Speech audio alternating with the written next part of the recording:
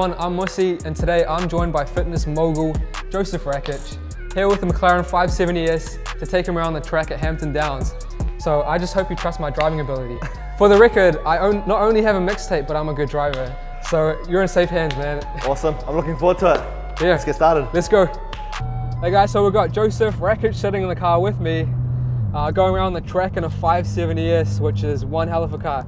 My first thought straight off the back is uh, people usually call this a baby McLaren or the entry level McLaren, and I definitely don't think that's the case. 562 horsepower, and man, this thing really goes. It's like if someone had a baby that weighed like 10 kgs as soon as it, was born. like that's what type of baby this car is. How Yeah. you enjoying it so far? Straight beast day. I'm enjoying it, man. Uh, you can feel the power of this car. First time I've been on a track as well, so it's cool. Yeah, because you're real into your cars as well. What do you drive right now? Yeah, I'm real into my cars. I don't know much about cars to be honest. Like I'm not much of a boy racer, or if, if like you look at the engine, I don't know too much about that. Yeah, yeah. but I love supercars and I got appreciation for supercars. yeah. So right now I've got a Huracan. Oh, those are nice. Big V10 engine in Yeah. there. Yeah. Yeah. And before that, you had a Gallardo Yeah, as well. before that I had a Gallardo. I had you- that for a few years. You must be loving those uh, massive V10 engines. Oh, I love it. There's so much power in it, man. It's just you know- get the adrenaline you know, when you're behind the wheel. Even right now, man, this is one hell of a car. Like sitting so low to the ground as well. Yeah. It's, it's quick. This thing is might be called a baby, but this thing is really quick. Goes hard. First of all, you're built what is pretty much a fitness empire, and it's pretty admirable what you've done uh, over the years and at such a young age. How did you first get into the fitness industry? When was the first time you lifted a weight? Um, it all started back at high school, I guess. Yeah. Uh, I've always loved PE. I've loved, you know, running outside. I've loved cross country, soccer, touch rugby, whatever it was. Yeah. Anything physical, I loved.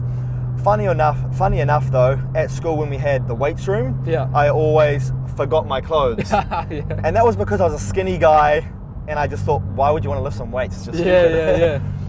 but my mum one day she won a free gym trial, which Oh, was yeah. a two week membership. Yeah, yeah. She didn't want it, so she gave it to me. I went along to the gym. I didn't really have passion or enjoy the gym as such, but Yeah. I was I knew some people at the gym, I was friends with them, and it kind of became a social environment. So I went there to basically hang out and Yeah, yeah. talk smack, you know? Yeah. After the two weeks I joined up to the gym because of that that aspect of it. Yeah, yeah. And I started going, you know, consistently, I guess every now and again. Wasn't following a good diet or wasn't following a good workout program. And I didn't have a love for the sport at the moment. However, I did start to notice my physique change Yeah. and I started to notice I was gaining some muscle. Yeah. Once I noticed that, that's when I got more serious about my training, Mm. more serious about my diet. I started doing my own research. And I guess that's when it came from something that I didn't really enjoy to my hobby. And now, years and years later, um, it turned into my passion, Yeah. what I live and breathe now. Yeah, yeah. And now it's turned into my career. But I guess the results kind of came as I started applying more knowledge into what I was doing, finding out what was the best diet to follow, finding out what the best workout program was to follow, and then applying that to myself. Yeah, yeah. No, that's a pretty inspirational story. What, do you remember your first lift by any chance? What, My what first were you lift- really into? Everyone has a favorite lift when they Yeah, start. I right? honestly don't know, but like when I first started, Yeah. it was basically just biceps and chest every day because Yeah. why train your legs? And Yeah. I'm not going to work my back because I can't see my back. Later on down the track, that I find out that was like small-minded. yeah, yeah. Um, and then yes, I train every muscle group now. So, what is a normal? What's a normal day like for you um, with your meal timing and your workout timing? yeah, a normal day for me. So um, I don't really wake up too early. Yeah. Like I'm not one of these guys that wake up at 4 a.m. and go do cardio. I kind of, you know, sleep's important, Yeah. and I kind of think I'm not going to jump over $100 bills to pick up pennies. Yeah, yeah. So I, I get my sleep in, but I, I wake up at 6:15, um, have a coffee, you know, meditate for a bit. 6:30, I'm doing my cardio. yeah, 7:15, finished. Yeah. Go have a shower, pack my bags for the day, get ready. 7:30, um, I have my meal one, which is breakfast. yeah. Then 8 o'clock, have a pre-workout, and then off to the gym about 9:30 or 10 once my meal's digested. Yeah, yeah. Um, but before I go to the gym, I do an hour and a half to maybe two hours worth of work, depending on when I had breakfast. Yeah. Go and smash the weights for an hour and a half to two hours maximum. Then shower, have my second meal, and then the rest of the day um, varies quite often depending on what I've got on. Um, like today, this interview. Drive around the track Yeah. in McLaren. yeah. but the start of my day always usually Yeah. starts off like that. Yeah. So what got you into meditation? That's a pretty interesting point. Is that something you've been doing for a long time? Nah, very recent. So I don't meditate as like I wouldn't really call it a, you know a strict form meditation, but I just kind of you know as soon as I wake up, I have a coffee Yeah. and I just either sit outside or sit somewhere quiet, just drink my coffee. I don't have my phone near me. I don't Yeah. have social media, so my, my mind's not ticking on all these different things, and I just think about things and just like kind of let my mind clear. And once I've done that, and once I've Yeah. finished the coffee, then I go and start my cardio Yeah. and that's when I you know have access to my phone. But I just like to give myself you know 15 minutes a day where I'm just free in my mind. Well, that's real interesting because I reckon in this day and age with uh, mobile phones, like they act as a constant stimulus for someone. Yep. And I always like calling it dopamine fingers, right? People are addicted to it and they, they get hits of dopamine every time they get a like, So a comment, true. a follower. So I reckon You have to check your phone all the time exactly, for that dopamine It becomes an addiction and it's like almost like a chemical um, reaction in your brain that relies on it. Um, so even in our mentoring with our kids within the charity, one thing we're introducing is um, mentoring. Yep. Uh, sorry, uh, meditation within our mentoring. Uh, because nowadays, I mean, our generations were a bit better off uh, in terms of uh, not depending on technology so much. But these kids have laptops, cell phones, iPods, everything, and they're just from the day they were born they're Yeah. in this world. And I think meditation plays a real crucial uh, Definitely. part in this. And I think like the hardest thing in this day and age Yeah. is being present where you actually are. yeah, exactly. Like yeah. I, I always go by a quote: "Wherever you are, be there."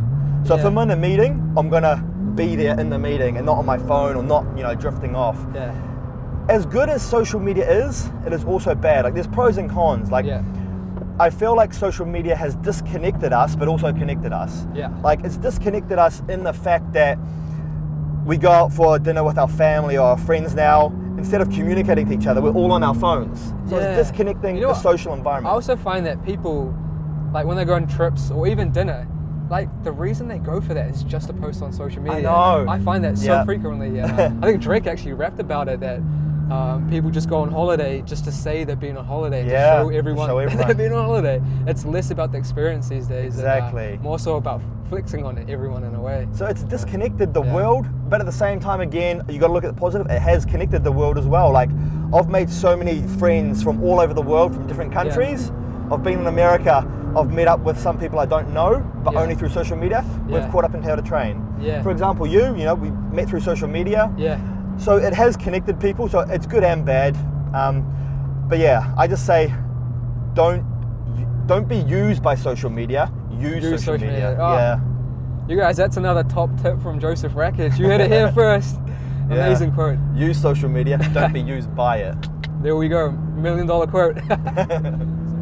yeah, bro. So, what do you think of the um, coating on this car? It's got a.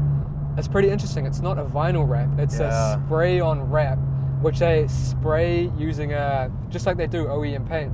Would you get something on I this love it. Like Yeah. when I, as soon as I got here, I was like, man, this car's sick. This paint is awesome. And then I realized it wasn't paint. Like it looks so perfect. Yeah, it's crazy. So I was talking to the guy Victor from Autoflex, and I was like, man, this is a sick paint job. And he's like, nah, it's not paint. It's a wrap. yeah.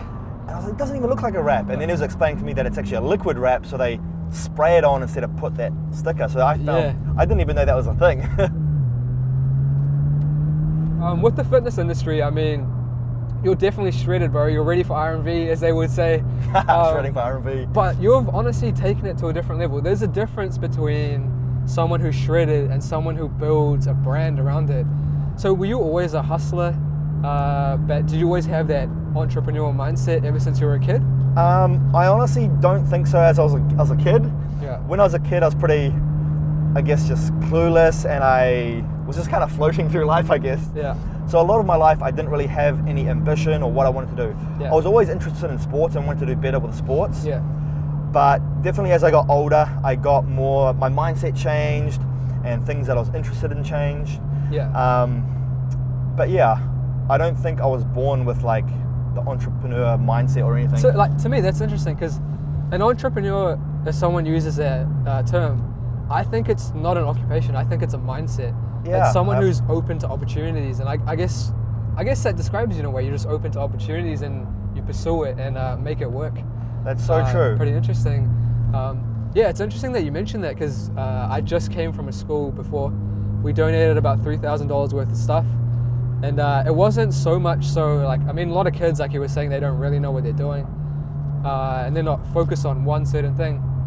But what we got them to do is write down three things that they like on a bit of paper, and we got went out and bought them like three hundred dollars worth of stuff, depending on what they wrote down. That's some so of them awesome. yeah, so some of them got uh, action cameras and boxing gloves. Uh, one little girl actually started crying instantly because Oh, we, we work with low decile schools. Yeah. She instantly saw, so we bought her uh, a sketch pad, a digital sketch pad you can plug into a laptop and draw. Oh, and as soon as she saw that, started bawling her eyes out and was so grateful. But um, that's the same thing. Oh, we, that's, that's touching me in the feels. Like, that's cool. I like that Yeah. stuff. Thank you. yeah, I love what I do and I do what I love. And I think, and I honestly believe that's the most important thing Yeah. in life. Like, there's so many people out there who are doing, I guess, stuff that they're not 100% happy or 100% satisfied with. yeah, I believe to do well in whatever you want to do, you have to truly love and you have to truly have passion for it. yeah, yeah. That's like the charity, man. Like, at first, my parents were like, Mussie, what the hell are you doing? You should be focusing on your own career. Um, but to me, there's no better feeling in the world than to see someone else succeed. Exactly. someone smart. I guess that that's with you and your clients. Like, Yep. your clients go through amazing transformations under your plans and stuff. And you know, just that feeling that you put in the effort to make someone else's life better. I know. There's, on, it's honestly such a. People talk about dopamine fingers from phones. That's like a dopamine fingers from a, a good act. in a way, Yeah. It's amazing, right? Yeah. So true. And I, yeah, I honestly believe, like, happiness to me, especially once I've got older, Yeah. is making other people happy. Yeah. If I can make other people happy with their transformation and changing their physique, that Yeah. makes me happy. When I was a kid and young, like, it was kind of just like, well, what am I getting for Christmas? What am I, like, that's what makes you happy when you're a kid. Like, it's all about you. Yeah. But as you grow older, your happiness comes from making other people happy. Yeah. So that's definitely the case. And one thing I love about the fitness industry, I mean, it's definitely booming right now. But when someone goes to the gym, they plan their diet out. It's a form of self-respect, right? Mhm, And yep. that's that's what I appreciate the most. And I always tell myself, like, yeah, I might have a, a bad day, and things might come falling down. But at the at the end of the day, I'm left staring at myself in the mirror, and if and you can physically see that self-respect, and it just reminds you that there are better days, you know. And it's such a I, I think fitness and uh, is such a crucial aspect of one's life. Not necessarily. true. I mean, getting shredded and stuff is amazing, but also the um, just looking after yourself and self-respect. Yeah. It's, it's crucial. Exactly. And Yeah. even just um, having some form of, form of dis- discipline. Yeah. even if it was only going, you know, to the gym three days a week or something like that, just having that discipline to do something, it helps in so many other areas of your life. Hmm. And I've seen you take it to ne- the next level with your fitness. Um, I recall one time you were actually you got down to such a low body fat that you actually got to hospital for Yeah. it. And for me, it's like it's amazing because you have so much control over your body, which Yeah. is really admirable. Um, and it, I think that's really a strong technique someone develops to be able to tune their body so uh, precisely. Yeah, and, and honestly, it was, it was so interesting as well, Yeah. and I'm so interested about it. And I guess for me, like I've got a really obsessive personality. Yeah. So if I do something, I either do it 100% Yeah. or I don't really do it. yeah, yeah, And so with getting lean, one time I just wanted to get as lean as I could. Like I wanted to take shredded to the next level. yeah, So I dieted and dieted and dieted. My calories kept dropping. yeah. I th- it was quite a while ago now, many years ago, but I think I got down to like 1,600 calories and like an hour of cardio per day, Whoa. plus two hours of weights. Yeah. And like, I was actually so lean that I couldn't even pinch like skin on my abs. Really, it was like pinching skin on my forearm. Yeah, wow. And I, I remember looking in the mirror, thinking, this looks disgusting. I'm so lean. yeah, Like I knew it didn't look good. I knew it was like too far like lean. yeah. But this weird obsessive personality of mine was like, can I take this even further? And oh yeah, I was just so, you know, perfect with everything. Like I even remember I had five dried apricots Yeah. during my workout, intro workout. Well, what's the And- reason for that? It was just, you know, for a little bit extra energy when I'm running on solo Oh, yeah, cows. yeah. And then I remember like I wasn't losing any more fat, so I dropped two apricots out. Whoa. And then, So then I that's dropped real two fine That was so fine tuning. Wow. And me just thinking back now, like that is like Yeah. that is nutty almost.